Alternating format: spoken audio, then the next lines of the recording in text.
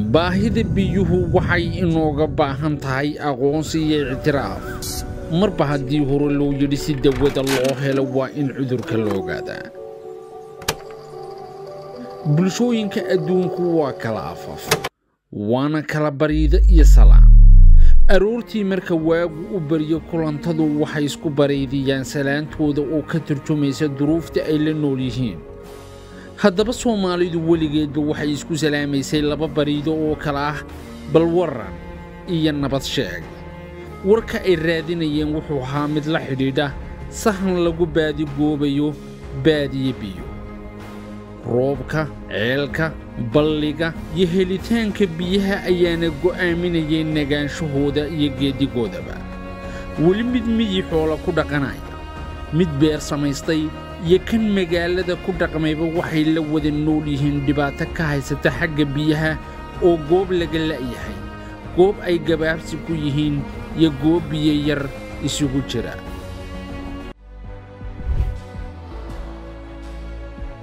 Haddaba barnaamijka uu horyaal tv doodaha kaga hadla arrimaha deegaanka iyo jaamacadda golis ayaa falanqayn ay sameeyeen warcelin loogu raadiyey weyddiime ay ka mid yihiin waa imise xaddiga biyaha roobka ee ka da'a somalilan? Intee in leeg ayay bulshadu ka faa'iidaysataa? Dhaamam iyo ceelal haddii loqdo maxay ka tari kartaa saamaynta masiibooyinka?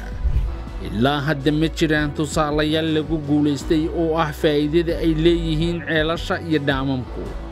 Sidee bulshadu uga faa'iidaysan kartaa biyaha qulqulaya iyo kuwa dhulka hoostiisa ku jira horyaal t v ayaa isku keentay khubaro dhinaca biyaha. Waxaana daadihinaya barnaamijka wariye maxamed taajir oo ay fikta u saaran yihiin. Cabdirashiid maxamed belel oo ah khabiir muddo dheer ku soo shaqaynayay culumta biyaha. Cabdirasaaq sheekh maxamed gaboobe oo ah aqoon-yahan ka tirsan wasaaradda beeraha somalilan hoode axmed oo culumta biyaha aqoon durugsan u leh kana mida mas'uuliyiinta jaamacadda golis iyo maxamed cabdi cabdilaahi indhayare oo ah khabiir arrimaha deegaanka iyo isbeddelka cimilada lafagura haddaba ku soo dhowaada daawadayaal barnaamijkan falanqaynta ee biyaha lagaga hadlayo asalaamu calaykum waraxmatullaahi wabarakaatu. Kulan wacano wanaagsan. Kusoo dhowaada barnaamij kooban oo saacad wax ka yar inoo socon doona. Kaasi aynu kaga hadli doono biyo-yaraanta ka jirta dalkeenna iyo sidii xal waara loogu heli lahaa in biyo badan oo roobabka aynu ka helno aynu u kaydsan lahayn. Inta badan biyuhu waxa weeyaan barbilowga bini aadamka noloshiisa ama horumarkiisa uu ka bilaabmo. Sidaasoy tahay haddana labadii qarniye ugu dambeeyey ama in ka badanba waxaynu aynaan ahayn dad biyaha isku filnaansho ka gaadha maynaan ahayn.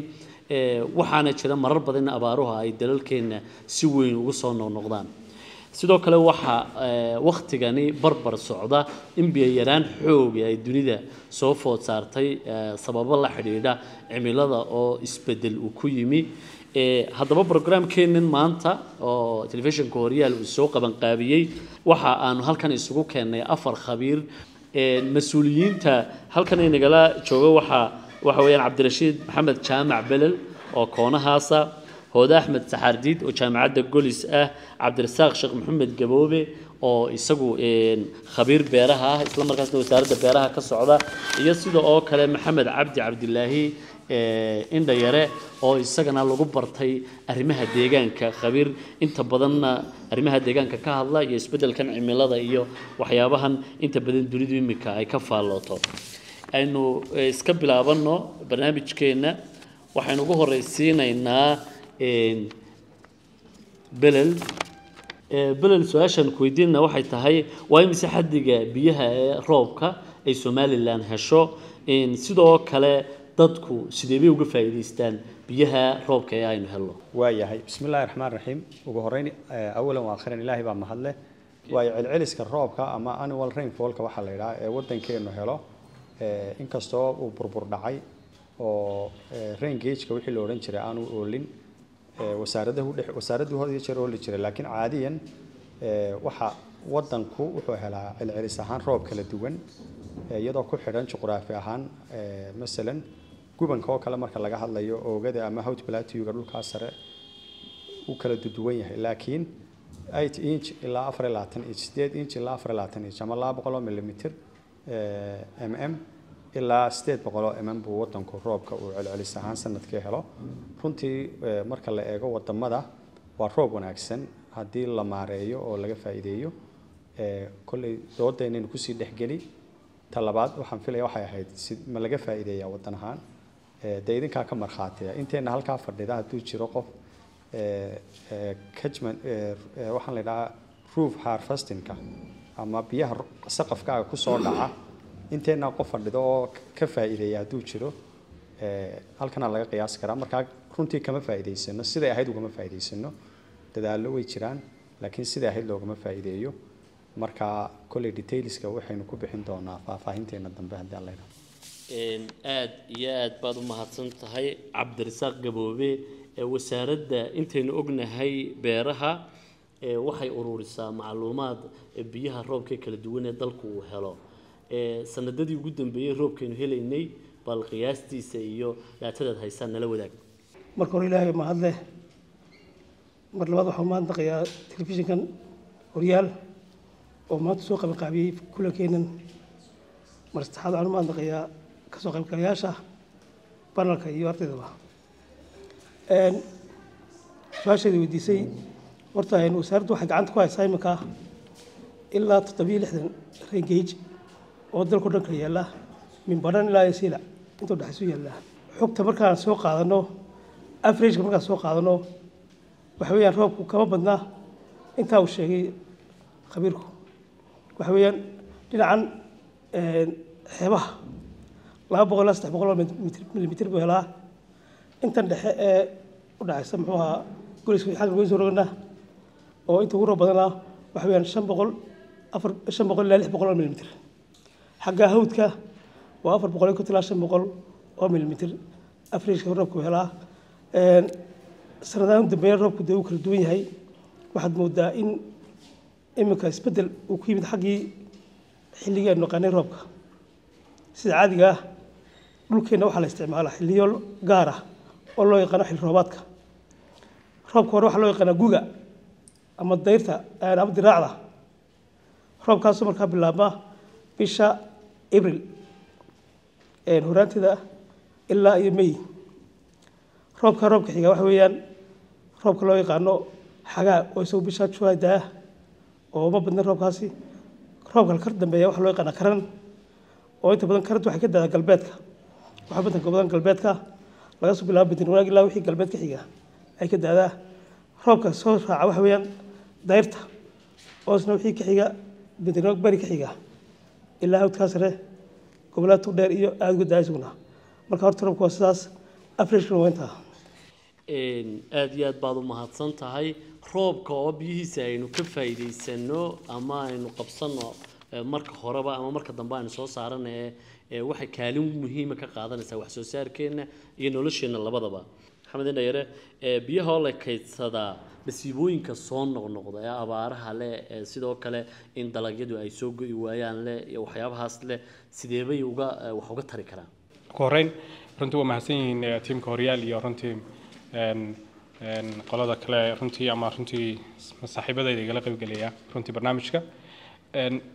Markaan ka hadlayno ama su'aashaan u dego aan ka hadlayno biyuhu sideeba u yareyn karaan masiibooyinkan soo noqnoqda runtii horta iyagu ma ma joojin karaan laakiinse waxay noqon karaan mechanisms ama waxyaaba lagaga hortegi karay noqon karaan. Oo ah haddii mar la samaysto xakamaha wuxuu sameeyaa wuxuu dhimaa runtii u nuglaanshaha masiibooyinkaasi uu dhimaa. Waana asbaabta loo leeyahay biyuhu door intee leeg bay ka qaadan doonaan markaas. Marka haddii ay dhacdo oo ka faa'iidaysiga biyaha uu yimaado scalesku haba kala duwanaadaan ama laga bilaababa runtii commitmentka communityga ama runtii halka ugu hooseysa ha noqoto ama ha noqoto ilaa in national level la gaadhsiiyo oo runtii dowladdu la timaado dee dadaalka intaa lagala timaadee. Markaad eegto waxay keenaan horta number one waxay kordhinayaan biyaha mar kastoo la hakiyo maxay ahayday water tableka waxaanu naqaana ama biyaha dhulka hoostooda ku jira waynu isticmaalaynaa. Marka markaynu isticmaalno de way isticmaalku mar kastuu bato biyahana hoos bay u sii degaana way dhinmayaan. Marka haddii la hakiyo biyahoo la joojiyo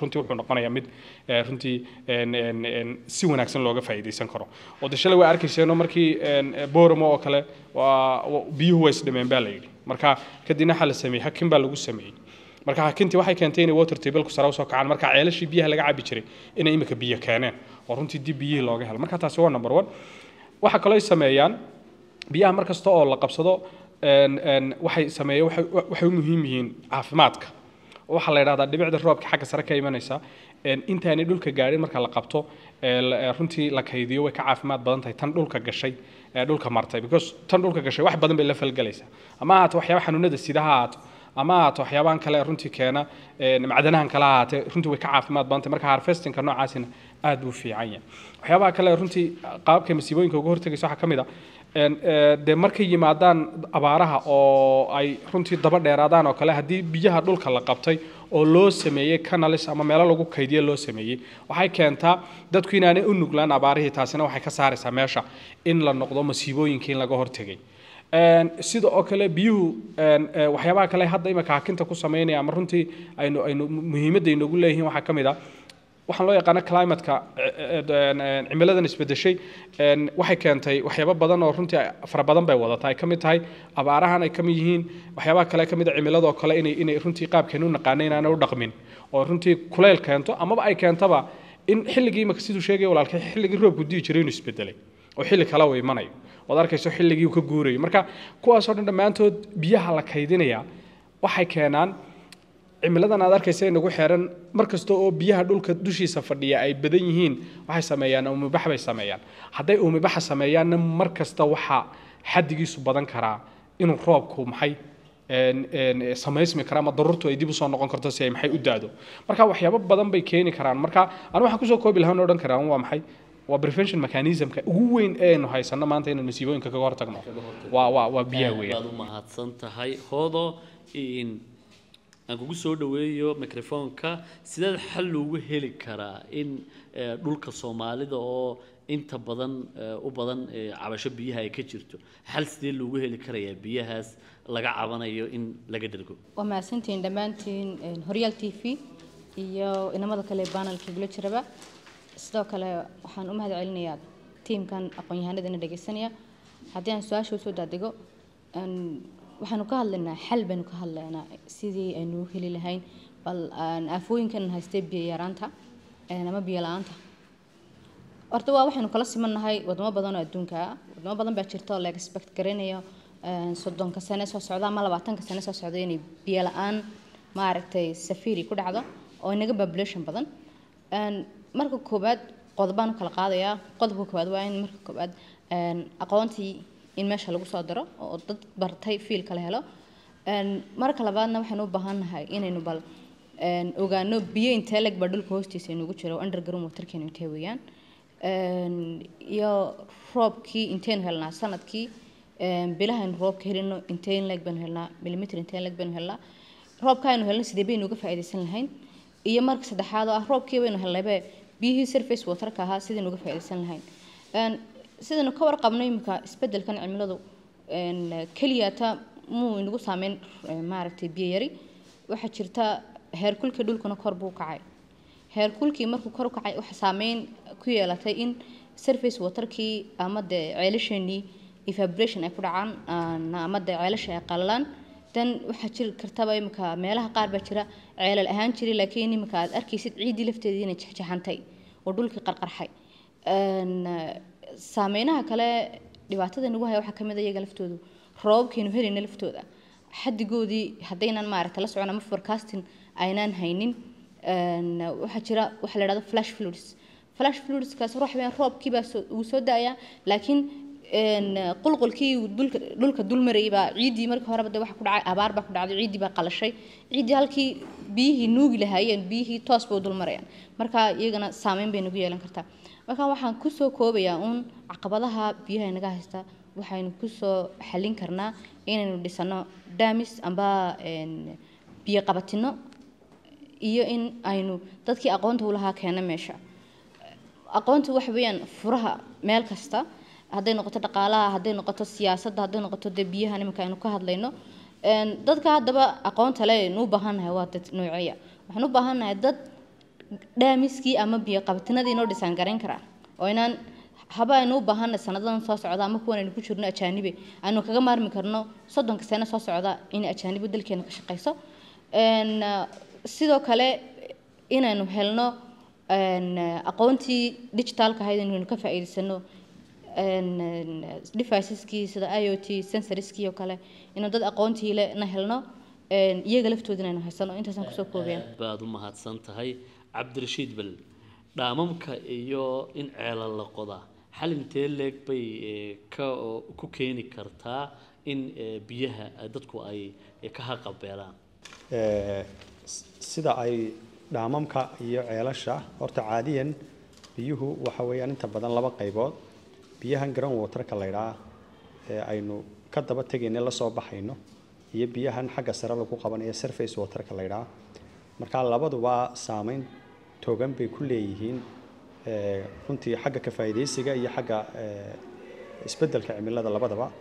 Tusaale haddaynu ka bixino waxaa jira imika biyo xidheenno la sameeyo sababtuna tahay in hydroelectric power ama tamartan laga dhaliyo biyaha laga dhaliyo. Tusaale ahaan marka kaasoo kale muxuu keenayaa waxaa lagaga maarmayaa naaftadii badnayd ama dhirtii la jiraya dhuxusha laga shidanayay runtii waa waa wax taageeraya ee, cimiladii oo deegaankii u dana. Xagga ceelasha la qodo ama ground waterka biyaha dhulka hoose lala soo baxayo iyo kuwan oogada ee la xidhayo ee laga samaynayo dhaamamku. Labaduba ee, faa'iidooyin badan bay u leeyihiin deegaanka. Ee, waxaa kow ka ah tusaale ahaan biyuhu marka dhibicdu ay cirka ka timaadee dhulka timaado haddii aan la qaban waxay qaadaysaa ciiddii fertile-ka ahayd ee wax ka bixi karayeen taasina waxay keenaysaa inay ku darto dee badihii sida ay waddankeena caadiyan ugu bad- ee, badanaa ka dhacda. Marka ee, waxay kaala tegaysaa wixii aad wax ka beeran lahayd. Inta badanna intan yaree saraa wax laga beeraa. Marka markay kaa qaado waa khasaare. Markaad qabato ujeedooyin badan baa looga faa'iidaystaa maaha uun biyuhu waa row. Marka la qabto row water baa la biyo qaydhin weeye. Laakiinse waa la tiriid gareeyaa waxaa laga dhigaa biyo dadkuna cabbi karaan ama wax lagu beeri karo ama xooluhu ka cabbi karaan. Waxaasoo dhan baa laga sameeyaa. Marka dhibicda aad qabataa danbay deegaanka u tahay. Ceelasha dhaadheer ee la qodayo laftoodu runtii waxaa jira meelo sahanku aanu saamaxayn in dhaam laga sameeyo oo ay laga helayo laakiin marka la eego ee, ceelal in laga qodo ay munaasib tahay. Marka waxoo dhanna waxay hoos imanayaan. Horta marka hore dalladda dawliga ah ee jirta ayuunbay waxani ka hoos shaqeeyaan. Marka shaqo la qabanaya ma jirto ilaa ay cilmi baadhis ka horeynayso taasaa markaa lagu go'aan qaadanayaa deetana meelihii dhaamamka oo kale munaasibka kuana waa loo qabanayaa meelihii ay tahay in ceelo laga qodana waa laga qodaya caadiyanna dhaqaalaha ku baxa wadan ahaan wuu isku dhadhowyeyba oo waxaan filayaa beermitir riiga waxay ku qodaan afar boqol ilaa shan boqol. Dhaamamkana dhaamamkana waxay ku sameeyaan lacag dee dhowr boqol oo kun oo dollar runtii. Iyadoo ay su'aalo badani dee ka dhalan karaan laakiin labaduba deegaanka waa dan. Cabdirasaaq gaboobe beeralayda sideeba biyo yaraanta u saameysaa? Maadaamad wasaaraddii beeraadi bismi illahi raxmaan raxiim kulley marka beer laga hadlayo beer biyuu waa u muhiim. Wax la beeryo dhan biyuu waa muhiim in biyo loo helaana waa munaasab waxa weeyaan waxa weyaan in la helo marka hore biyo in biyo loo helo. Meeshu haddayna biyo lahayn markaa beer kama jiri karto. Marka waxay u saamaysay isbeddelka cimilada iyo biyo yaraanta waxay u saamaysay wax soo saarkii bay hoos u dhigtay waxaa kaloo jira waxay saameyn ku yeelatay isla markaana meesha ay ka saartay. Abuurkii tayada lahaa ayn haysan jirinna meeshuu ka baxay abaarahan soo noqday dartood. Labadaas markaa waxay een, noqonayaan in wax soo saarkeena hoos u dhaco haddii aan ku sii socdo xaggan kale qofka beeraleyda ah hantida uu leeyahay waxa weeyaan waa ciid iyo biyo hantida keliya uu leeyahay waa ciidda iyo biyaha labadaasna markaa waxay u in la daryeelo muhiimadda koowaad ee wasaaraddu ay xoogga saartaan waxa weeyaan in loo daryeelo beeraleyda ciidda iyo biyaha ilaa imika waxaa xoogga la saaray sidii loo qaban lahaa ama loo yeerin lahaa qulqulka biyaha. Waxaa markaa la sameeyey waxaa loo yaqaano naxarada ama xarkaha beeraha dhexdooda ah iyadoo loo eegayo sloobka ama janjeelka dhulku siduu yahay. Ilaa imika haddaan soo qaadano dhulkeenu wuxuu leeyahay biyo dhac buu leeyahay. Iminka xagga waxa naga xiga marka laga soo bilaabo boorama iyo awdal biyo dhacaas waxa ku dara durdur dooxa la ku dara biyihii xaggaas u tegey waxa raacaan dooxa durduroo waxa ka dhagala xaggaas baddaas halkan geebila ka soo bilow iyo maroodi jeex. Laba biyo dhac baa jira markaa kaa loo yaqaano muxuu ahaa bij oo ah marka la joogo arabsi wixii galbeed ka xiga ilaa iyo kalabaydh kaasna markaa wuxuu ka daraa biyaha bij uu kaga daraa kan kale waxa wey waaheen. Ka dara badda muxuu ahaa xaggan dooxan waaheen. Intaa markaa wasaaraddu waxay samaysay iminka markaa mashaariic barbadan baa laga qabtay xagga dusha sare oo lagu hakiniyo biyaha si loo yareeyo qulqulku biyaha markaa beero fara badan baa waxaa laga xidhay naxaradaas si markaa loo xoojiyo qoyaankii dhulka isla markaana biyihiina kor ugu soo kacaan taasi markaa waxay saameyn ku yeelanaysaa in wax soo saarkii kor kaco ilaa iminka waxaa la qabtay ilaa laba kun laba milyan oo liinamitr oo xarkaa la sameeyey waxaa kaloo garab socda intaas meelaha dooxyada ku soo afgoaan waxaa laga sameeyey dhaaman fara badan oo ah marka biyi la soo xidho meel baa lasuu keenaa si markaa biyihii loo yareeyo socodkoodii oo dooxii biyihii tagay u yaraadaan kulley markaa howlo fara badan ay u baahan yihiin in loo qabto biyaha. Waa laga maraabaan biyuhu marka laga hadlayo xagga beeraha. Aada iyo aad baad u mahadsan tahay. Su'aalo aynu haddaba idiin soo gudbina dhankiina wixii su'aala aada qabtaane biyaha ku saabsan iyo sidoo kale sidii xal loogu heli kari lahaa inaynu biyo biyuhu aynugu filaadaan aan idiin soo gudbino qofka koowaad waxaad ku bilaabaysaa magacaaga saddexan kadib su'aashaad toos weydiinaysaa. Magacaygu waa xamdi xasan hirad ka socota kuliyadda beeraha jaamacadda golis su'aashaydu waxay tahay maadaama ay tahay doodeenu yacni sidii biyaha loo qaban lahaa ama ay ugu filnaan lahayd guud ahaan beeraleyda ودنكا ان سؤالي دو حوية وسيارة دبيره وام حي سببتها أي أسمين ويدي يعني أما يوقف إذا سمين ويدي أرديدا كل يده بيرها إيه كمرنانك آه إيه سنة دول بكس وقلن تريسا تام عضها ودنكا ان ما دابو أيهين يعني أسد ودنكا yacni si tabarucaadana ama maaragtay tabarucaadana looga faa'iideysan karo sidii iyaguna waxay si ay iyaguna u helaan yacni aqoon guud oo practical ah maadaama waddanka aanay jirin ardayda beeruhu yacni meelo cayiman oo ay practical ku qaataan. Marka laga marka laga tago yacni waxyaabo kooban oo ay jaamacaddu kafayso. Magacaygu waa cabdicasiis khadar cumar hal su'aalun baan weydiin lahaa qolada wasaaradda beeraha ka socota.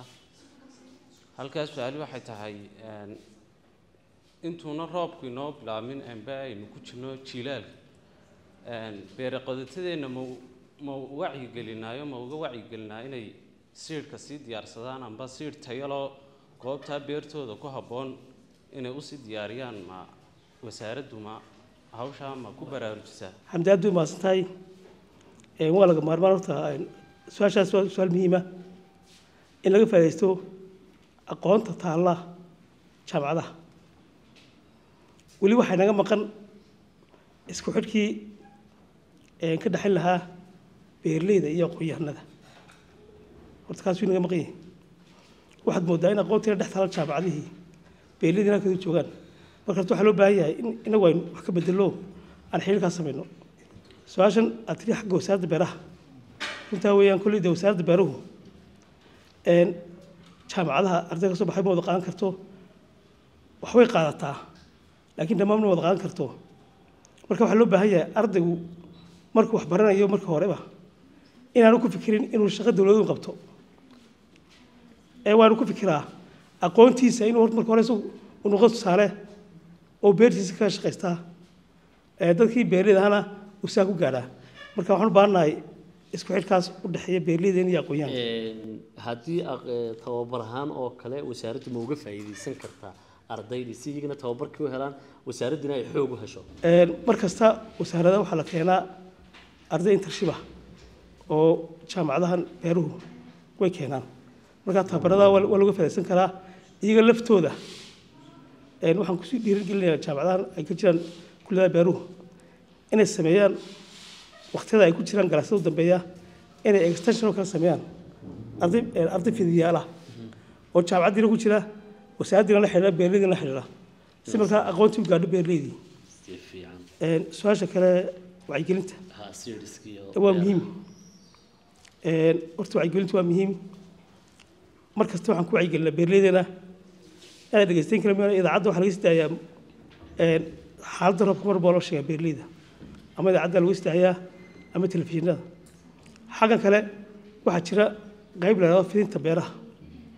Qaybtaa shaqadeedu waxa weeyaan inay beerleyda ku wacyigeliso inay ka faa'iidaystaan xilli roobaadka soo socda iyo inay ilaashadaan. Iminka waxaan ka hadlayay waxaan dabarkaa siirkeeni aynu hore lahayn jiiska aynu inagu lahayn inay ilaashadaan siirkaas oo ciddii heli kartaaba ay dar yeelaan labada qodob u muhiimsan waxa weeyaan in siirka la ilaaliyo لغونو عي جليو لولا سعود سيح اللي رباطه إيه يوقت بالله مايو مركب عي جنتاز ولا سمية. أديات بعض ما هتصنت هاي. محمد آه، عبد إن ديرة آه، أن كوسو دوي هذيك هيرك كفايدي سيجي إيه بيه سومالي لأن أو كله آه، هيرك كفايدي سكو سدي بعضو أركت علشان سدي يجوا حبونج ملوجا فايدي. مي رتي مركان سؤال شيء يا جو ولو أيكو حرنت هاي kolba skeelkan ka hadlayna ay ku xidhan tahay laakiin haddana sida guud markaad eegto biyaha markaad eegto sida guud kama faa'iidaysano faa'iidaysiga waxaanu ka hadlaynaa waxa weeye waa si siyaabo kasta inuu isticmaali lahayn inaynu biyahaasi qabanno marka waddankeenna intayna soo gasha iyo inta baxdaa markaa dee way badan tahay biyaha runtii inaga khasaara badda ku shubma way badan yihiin aad ba xadkooda u badan yihiin markaad ka tagto biyaha qulqulayana biyahan kale dee runtii dhibicdee ama ruufka ku dhacaan oo biyaha saqafka ku dhacaan. Ama meelahan kale dhulka qabanaya ha ku dhacaanba intuba ka faa'iidaysigooda aad buu inoogu yaryahay. Waxaa jira dee meelaha marka laga tago dhulka miyada markaad tagto dee waxa ku badan baraagahan ay qotaan dadku ay sibireeyaan kadibna biyaha ay ku kaydiyaan. Iyagoo isticmaalaya markaa cabitaan iyo iyo inay wax ku maydhaan sidoo kale xoolihiina ku waraabsadaan. Wax intaa ka badan oo isticmaali karaan ma jiro oo dee wax production oo kale isticmaali karaan ma jiro dee taasina biyo qabatin fara badan laguma sheegi karo ama waxaynu xusi karna maaha oo waxaynu wax soo saarkii wax ka qaban karaya marka imanka imankay soo kordhaysaa wax la soo fahmayaa markay noqoto maxay ahayde xagga dowladda oo kale way dhici kartaa awoodda dowladda ay ku qaban karto inay ka hooseyso marka waxay gelin karto laakiinse way hooseysaa aad bay u hooseysaa inay biyaha ka faa'iidayso inaan qabanno taasina waxay keenaysaa waxay hoos u dhigaysaa wax soo saarkii sidoo kalena waxay keenaysaa maxay inaynu u nuglaano masiibooyinka iyo waxyaabahan runtii sida abaarahan soo noqnoqonayo oo kale marka iyadoo la iska kaashanayo horta mid baaba yar jirto waxa meesha ka yar maqan inaynu inagu een, imanka runtii qoraallo badan la sameeyaayo implementationkooda wuu inoo dambeyn doonaa runtii gadaal bay ka iman doontaa laakiin qoraalladii wixii inaynu sameynay wax dukuman garaynay makaan bilown policy ha noqoto adaptation balaanadii ha noqoto wixii oo dhan ha noqoto imankaynu wax wadnaa laakiin waxaasi markaynu implement garaynayna de waxaa soo geli doona private sectorkii baa soo geli doona waayo de lacagu maaha in adduunyadu keliya inooga yimaadaan ee dadkeenna qaar ka shaqaysanaya wadanka ee kambaniyada waaweyna ayaa iyagana lasoo engage garaynaya iyagaa qayb ka noqonaya inay finance gareeyaan maxay mashaariicda noocan oo kale ah. Inna wixii adduunyada lala raadsan kalaa lala ka raadsanayaa inna waxa ku dari doonta dowladda kadibna iyadoo laysku laraya waxay noqon doontaan in iyadoo partnership lagu yahay mashaariicda la fuliyo. Marka taasaa looga faa'iidaysan doonaa gadaal bay ka iman doontaa laakiin markaan eego ma runtii weli way yari ka faa'iidaysiga. Aad baad u mahadsan tahay hodo ee hodo cilmiga ah, biyaha ama aqoonta biyaha dadka leh ama aqoonta dalka gudihiisa ku qaatay. Aad bay u kooban yihiin arrintaas sababteeda maxaad u malaynaysaan sidoo kale maxaad ku talin lahayd waa mahadsantay walaalo. Waa run cilmigan biyaha. Baahida loo qabay iyo si aynan maaragta u fahansanin ismaleka waxaan odhan karaa sideedii sano ugu dambeeyey ama toddobadii sano ugu dambeeyey ayuunbay inagu soo dhacday inaanu bal fiilashaa biyaha la xidhiidha aanu bixino. Ma garanayo kule jaamacado kalena bixiyaan. Anaga jaamacaddeeda golis imika waxa baxday difcaddii labaad baxay walow aanay tiradoodu badnayn. Ay arday yara kooban ahaayeen. Haddana imika waxaa sanadkan difcaddii labaad baxday iyaguna waxay si toosa ula shaqeeyaan een, la joogaan wakaaladda biyaha. Marka horta cilmigan biyaha bulshadani way u baahan tahay. Marka annaga backgroundkoodu barkii hore dadku wax baajka wax kale baran jireen. Tusaalehaan anigoo kale bachelorkaygii civil engineer ma bartay laakiin takhasuskaygii masterta baa hydrology ahaa ardaydan iminka dalkeena joogta ama jaamacadda ka- baratay gulis waxay fursad u heleen inay bachelorka laftiisiiba ay biyihii ku dhigtaan. Isagiyo dee fiilkiyo isku qoofalan oo dhammaystiran. Marka berigii hore qof qof unbaa master ku soo diyaarin jiray oo dalka dibadiisa ka soo baran jiray. Qofkaasoo backgroundkiisu ama de environment ha ahaado amba wax kale ha xidhiidho. Intaasna waxaan odhan karnaa waxa weeyaan imika wax badan ka qabtay dalka sidaynu imika ognahay wasaaradda biyaha oo kale mashaariico badan bay imika fulisay dhaaman badan bay dhistay ceelal hore weeyaan way dayactir bay ku samaysay qaar kale way dhistay cilmiyadaasoo dhan waxaan odhan karaa tobankii sano ugu dambeysay dadkii fursadaha u helay inay masters ka soo diyaariyaan cilmiyada la xidhiidha biyaha ayuunbaa ku ablaageray laakiin weli fareenagama qodna. Waxaan u baahannahay inaanu sameyno bal wacyigelin la xidhiidha fiilashan biyaha la xidhiidha inay bulshadu barato oo jaamacadaha aan weli bilaaban ay bilaabaan bulshada loo sheego baahida loo qabo. Oo xataa ardayda maaragtay xiiseynaysa inay bartaan bebilaashka looga dhigay annagoo kaashanna dee wasaaradaha ku shaqada leh sida wasaaradda beeraha iyo wasaaradda biyaha iyo wakaaladaha dalkaba biyaha. Een, way nagu yar yihiin laakiin waxaan u baahannahay weli inaynu sameyno public awareness si tiim badan oo dalka wax uga bedela dhanka biyaha aynu u helno. Aad iyo aad baad hooda u mahadsan tahay cabdirashiid balal waxaa jirta dhaamam iminka waqtiyadii u dambeysay la qabtay oo dhaamka gabiley oo kale uu ka mid yahay. Dhaamamkaasoo kale tusaale nool ma u noqdeen in biyaha marka la qabto ay isbeddel ku keeni karayaan deegaankaas biyaha intaa leg loo qabtay. Waaye bismillah eh, waxaa jira waa runtiisa dhaamam imika dee badan oo ah tiifiyada ka daawataan oo ama ahay dee dowladdu sida miisaaniyadda ha laga maalgeliya ama cidahayna taageeraaba haynaga caawiyaane eh, aynu daawana had jeer jira maxay bedeleen maxay impact eh, keeneen ama saameyn taban togan baan le ay wadankii ku yeesheen. Waxaa imika tusaale aynu u soo qaadan karnaa horta dhaamamku horta asalkaba horumarku haddaanay dowladdu hagahaynin dowladdu dowladduna waxaa dhalay dadka. Oo markaa dowlad dadkii ka wakiila aanay horumarka iyadu hagahaynin oo horumarku uu kaaga yimaado mashaariicu ku salaysnaada dhammaanaya oo ku dhufoo ka dhaqaaquunu noqdo. Inta badan ma tamariyaan waanay dhacday waddankeena dhaaman badan oo lacagayo badan la geliyey. Gurex oo shaqayn waayey ama aan dhaamam kale imika dadkii dadkii deegaanka lacagta badan la geliyey dhaamkii loo sameeyey ay deegaano kale dhaam laga qoday. Tusaale ahaan waxaynu case practical u qaadan karnaa meesha la yidhaahda faraweyne dhaam lacag badani ku baxday almost half a million dollar lacag badan lacag gaadhis ay ku baxday baa imika waxa dadku ka faa'iidaystaan dhaam kale oo halkan laga qoday wadda makaahil oo maaragtay dee deegaan ahaan ka durugsan laakiin haddana eh, modelkay ku xidhan tahay sida loo design gareeyo iyo cidda wadda sida ay dowladdu maaragtay u soo maraan ee ay xidhiidh ula leeyihiin Eh, innagana inta badan waxay nugu badan eh, wadaad ninbaa carabaa tegaya deetana islaan dhimatay ayuu nin caraboo dee ama edadii dhimatay ama hooyadii ayuu ayuu wuxuu uga soo qaadayaa lacag waqafa deetana wuxuu odhanayaa ceel ayaan u waqfay deetana si soo ordayay dowladdii intuu kala dhunto meel hadduu doono aan munaasib ahayn ka samaynayaa. Dhaamamkuna waa la mid. Markaa mashaariica aanay dowladdu hagahayni waxay waa rafaad runtii waana kharash ahaana dhiigba xun bay dalka ku yihiin. Markaa kuwa guulaystay waxaa good example ah mid faaro qoday hay'addan faro foundation oo runtii ku yaalla meesha la yidhaa ijaara dhamha oo kii faraweynen oo lacag badan la gelin runtii aada moodo sidaan eh, xog ku hayo faagtisa inaanu inaanu in lagu hungoobo sidii la rabay aanu u shaqaynin. Marka waxaan anigu ku soo gabagabeynayaa eh, innaga waxay nala fudud baa jira adduunyada kalena la weyn. Innaga waxay nala fudud waxaa la yidhaha dowladda. Eh, dowladdu waa imika intaasoo qof oo hor fadhiya xi- xikmadaha qof walba ilaahay u dhaliyay ku jira oo la mideeyey ayaa dee waa iftiinkii weynaa ee la wada du- la wada eh, iftiinsanayay dowladdu marka mashaariicdan lala ordayo ee hay'aduhu wadaan ama qof gaar u wado ee aan soo marayn eh, dowladdu runtii waxay keenaan dhibaato badan. Eh, marka kuwaasaa ka mid a kuwa guulaystay. Kuwa iminka guulaystay oo kale waxyaabaha ay deegaanka ku soo kordhiyeen. Maxaynu odhan karnaa waxay deegaanada waxay ku soo kordhayaan dhowr qodob.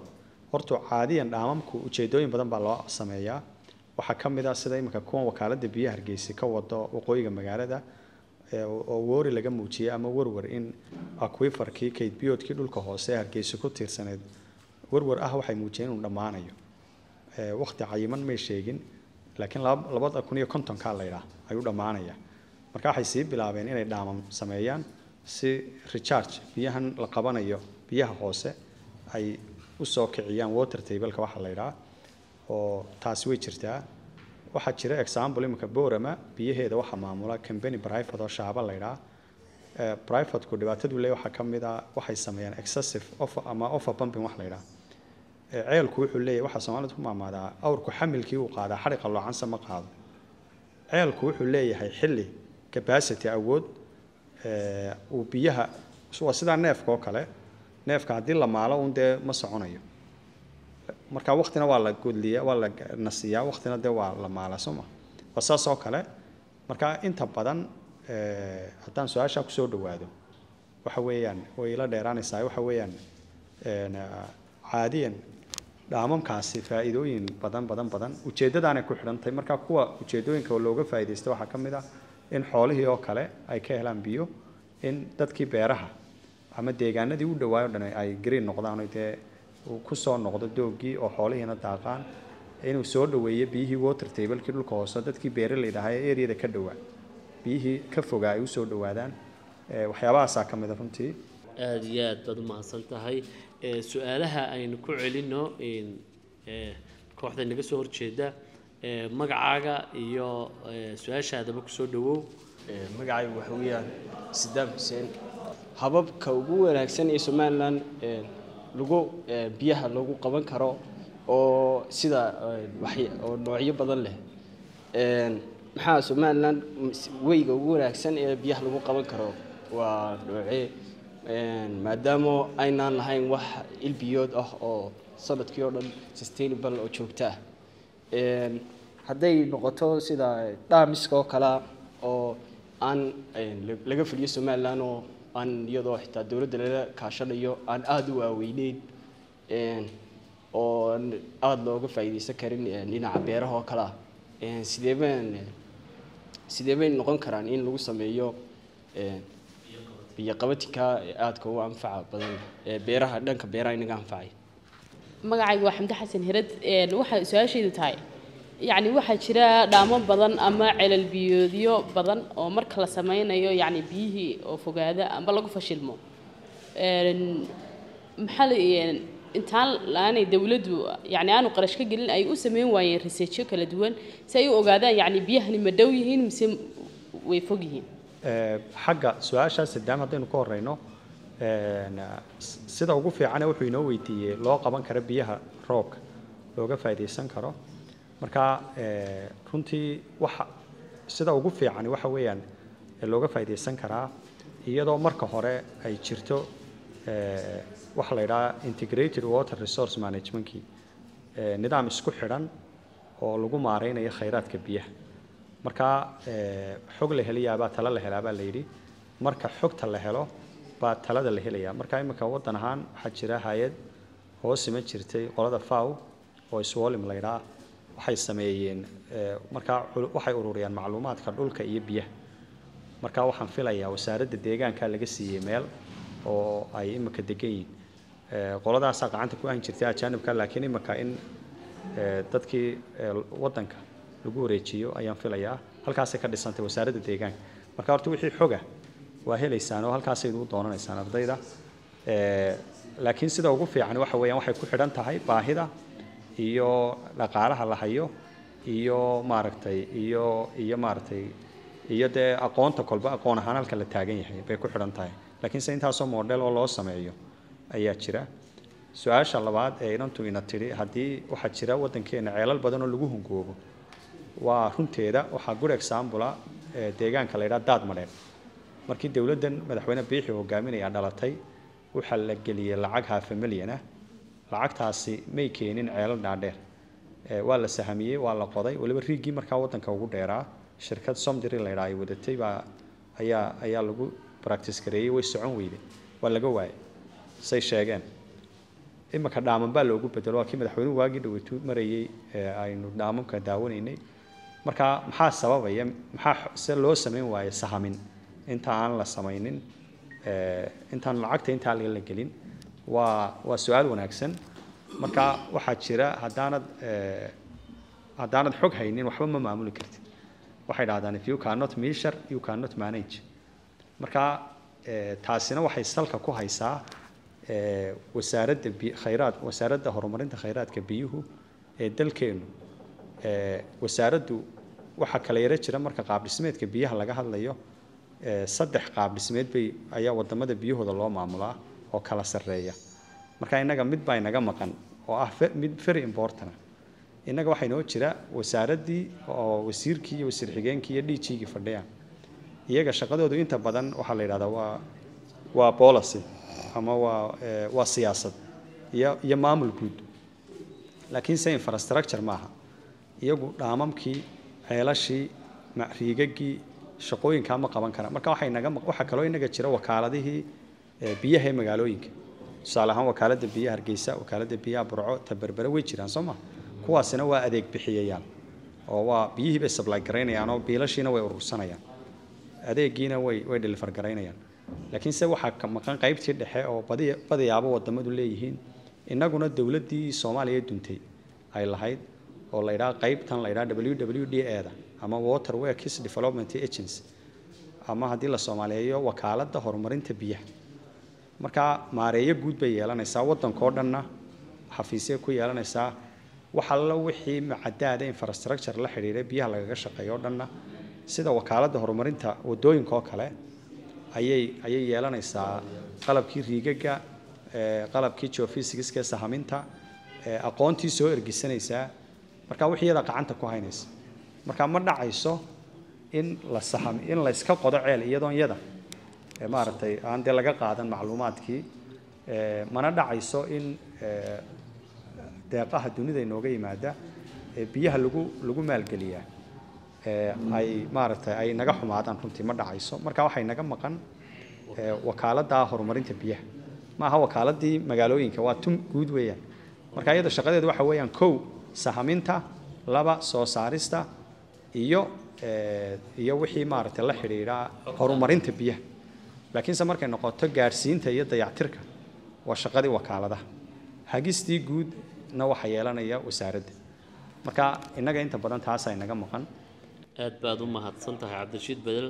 Hooda axmed baan eh, ku soo dhaweynayaa in waxaan ku weydiinayaa su'aashaada ugu dambaysa maxay tahay taladaada ugu dambaysa ee marka ay timaado eh, cilmigan biyaha iyo sidoo kale sidii xal loogu heli lahaa biyo yaraanta dalkeena ka jirta? Waxaan u malaynayaa qabadaha waxaan uga baxaynaa inaynu samaysano siyaasadda water policy-ga. Aan weliba filayo inay wasaaradda biyuhu qorsheynayso haddii aanay qorsheynayna waxaan eh, ku een, waxaan jeclaan lahaa inay sanadada soo socda inoo diyaarso water policy-gii beryihii hore dadkeena xaafadaha xataa eh, waxaa jiri jirtay eh, system traditional oo biyaha loo qabsado. Ha guri kastaaba wuxuu lahaan jiray majaroor buu lahaan jiray ka samaysan jingad. Qaybna waxaa ka inf- infrastructure-adan iminka la dhisaya dambe. Badankooga lama raaciyo maaragtay majarooro oo kale ama ha noqdaan shub ha noqdaan ama jingadihii hore oo kale ha noqdaan. In bal intaynu horumar gaadhayno nidaamkeenii hore traditionalka ahaa aynu biyaha u qabsan jirnay. Bal in bulshadii lagu wacyigeliyo inu biyaha roobka inta badan aynu qabsano. Wacyigelinta labaad aynu sheegaya in cilmiga biyaha jaamacaduhu waxa weeyaan mashiinka dhaqaajiya dowladda in jaamacadaha iyo dowladda isku xidhnaadaan. Jaamacad ahaana waxaa soo saarnaa anagu human resourceki ama human capitalki dalku ku dhaqaaqi lahaa. Haddii maaragta la rabo in wax laga bedelo caqabadaha iminka biyaha dalkeena haysta waxaynu u baahan nahay siyaasadaha aynu diyaarsanayno ama siyaasadaha haddii noo jiraanba iminka. Inaan bal diyaarino tobanka sane iminka soo socda haddii la helo jaamacado badan oo fiilkan biyaha bixiya ama cilmigan biyaha bixiya saameyn leeg buu ku yeeshay ama isbeddel nooceeyaba dalkeena ku leeyahay. Marka ugu dambeysana waxaan leeyahay intii baratay cilmiga biyaha ama dalka dibaddiisa ha ka soo bartaan ama jaamacadda golis baa ka baxaan iyaga laftoodu inaynu dadka magaalada iyo dadka miyada labadoodaba aynu uga soo faa'iideyno sida ugu macquulsane biyaha loo qabsan karo iyo caqabadahaas biyo yaraanta sidaynu xal uga heli lahayn.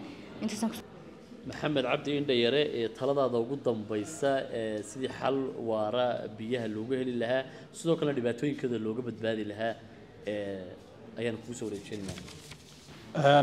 Bismi raxmaan raxiim markaa marka markaan xagga talada oo kale eego horta way kala duduwanaanaysaa de meelo kala badan bay taabanaysaa talooyinku.